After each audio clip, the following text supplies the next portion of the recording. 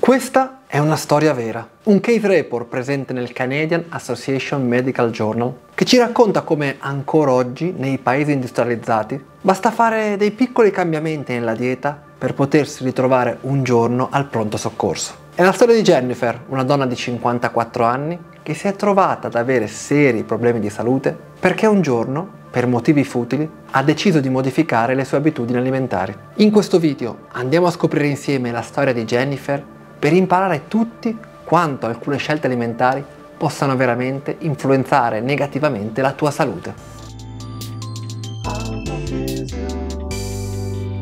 Alma Fisio. Curare, non trattare.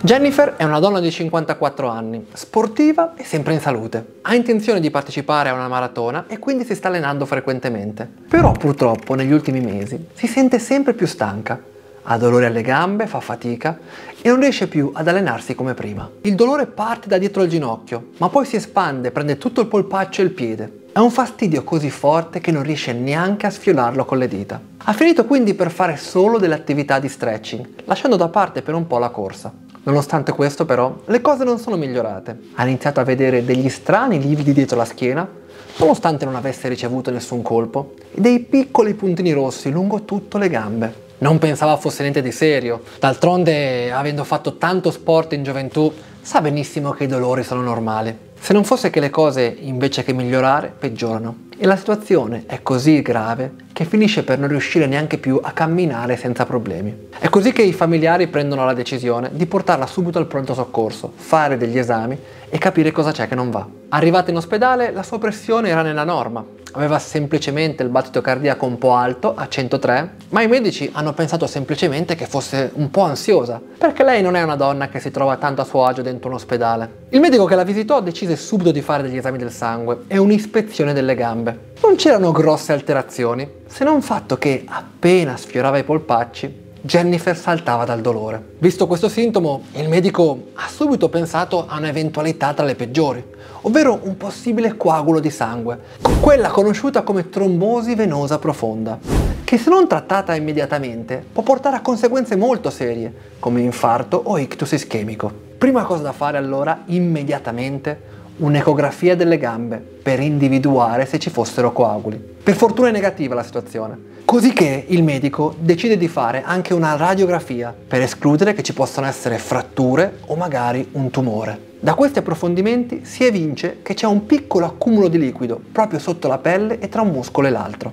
Il gonfiore delle gambe normalmente può essere dovuto a un malfunzionamento dei reni, del fegato o a un problema cardiaco, ma gli esami del sangue di Jennifer sono normali non c'è niente che dimostri una sofferenza del fegato o dei reni. Quella che vedi adesso è una sezione trasversale della risonanza magnetica fatta a Jenny. Vedi quelle frecce bianche? Indicano un accumulo di liquido nella zona e le frecce nere indicano che questo accumulo è anche più profondo, tra un muscolo e l'altro, tra un tessuto connettivo e l'altro. Non c'è dubbio che c'è un'infiammazione. Ma da dove nasce questo problema? Che cosa sta generando l'infiammazione? Per escludere qualsiasi rischio di cancro, il medico ordina una TAC completa torace, addome e anche bacino.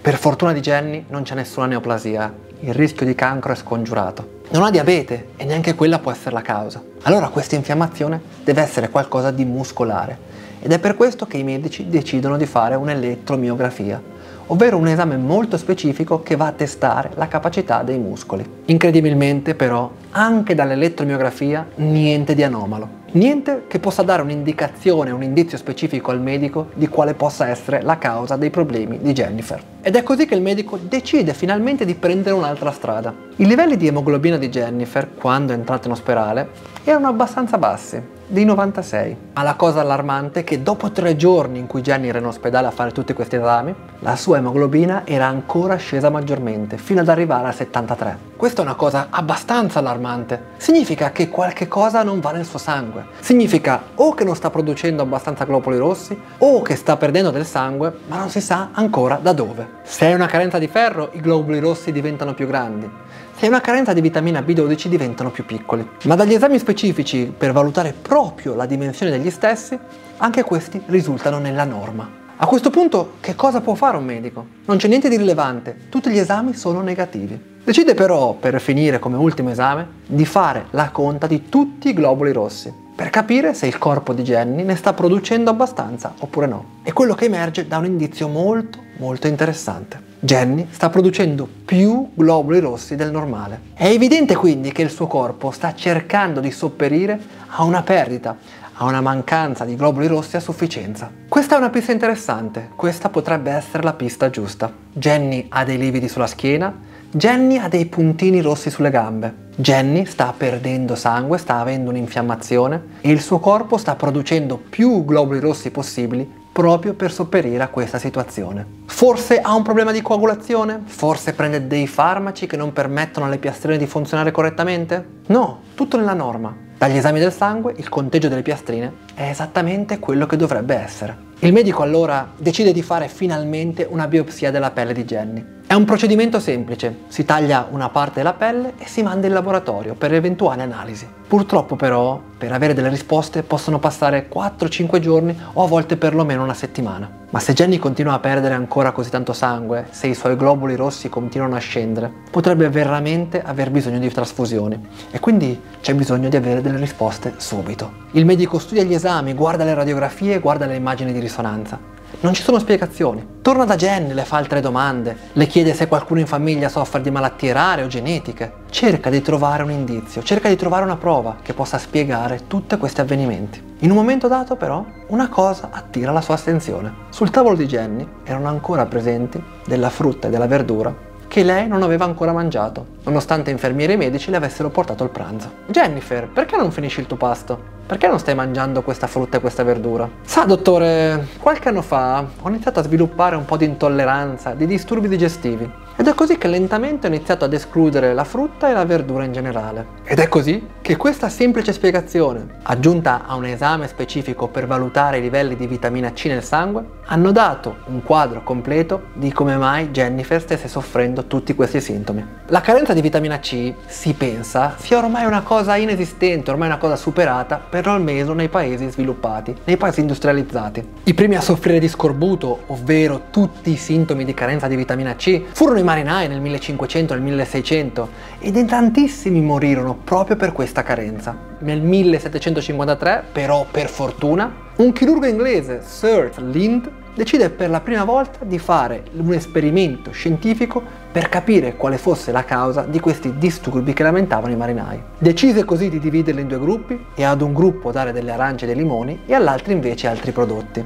Subito si rese conto che arance e limoni evitavano tutti i problemi di scorbuto e riuscivano a mantenere sani e in vita i marinai nonostante i mesi lontani dalla terraferma. Il mistero era stato scoperto, nonostante solo due secoli dopo venne individuata la molecola di vitamina C e collegata la sua mancanza a tutti questi sintomi sfastidiosi, a tutti questi sintomi molto pericolosi. La vitamina C infatti è necessaria per creare la L-carnitina, una molecola che tra le altre ha la funzione di trasformare il grasso in energia ed è per questo che negli ultimi mesi Jenny si sentiva sempre più stanca. Ma la vitamina C è anche un componente essenziale nella formazione di noradrenalina e adrenalina, che sono appunto quelle molecole essenziali nella risposta di lotta o fuga. In aggiunta, e questo probabilmente spiega tutti i suoi sintomi come i lividi e i punti rossi, la vitamina C è una componente essenziale nella formazione del collagene, senza vitamina C il corpo di Jennifer non produceva abbastanza collagene, i suoi vasi sanguigni erano diventati deboli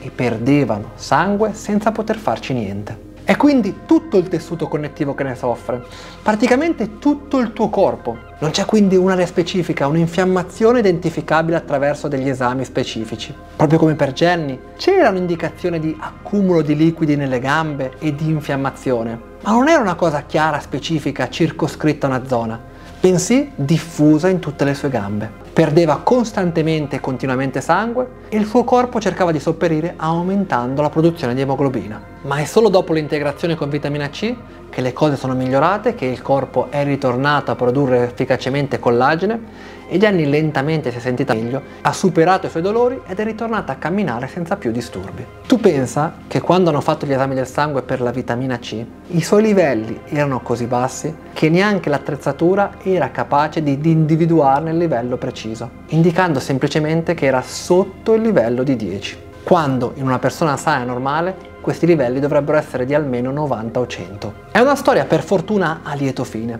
Una storia rara, diciamocelo, che non si vede spesso nei paesi industrializzati e tantomeno in Italia. Se non fosse però che è meglio non sottovalutarla, perché oggi le statistiche ci dicono che nei paesi industrializzati almeno il 5% della popolazione soffre di carenza di vitamina C e questa carenza arriva fino al 18% una persona su cinque di fumatori o fumatrici. Possiamo quindi affermare che se hai una dieta ricca di frutta, verdura, cereali integrali e legumi, probabilmente non avrai mai di questi disturbi e tua, i tuoi livelli di vitamina C saranno sempre ottimali. Ma se non ti piace mangiare la verdura, se la frutta la mangi di rado, se fumi o sei particolarmente stressato, allora potresti essere soggetto a una carenza di vitamina C che magari si manifesta ultimamente semplicemente con stanchezza, ma che potrebbe sfociare in qualcosa di più serio proprio come è accaduto a Jennifer. Se questo è il tuo caso, il primo passo è di fare degli esami del sangue, parlarne col tuo medico, capire quali sono i tuoi livelli così da poter prendere dei rimedi.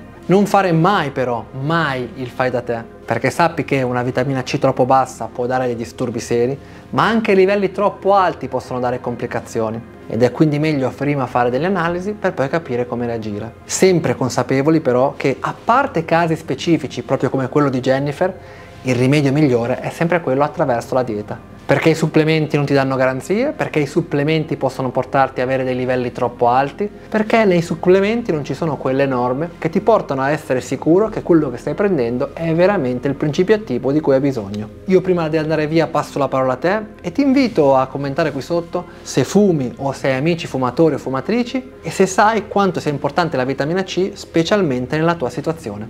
Per oggi è tutto, ciao e grazie!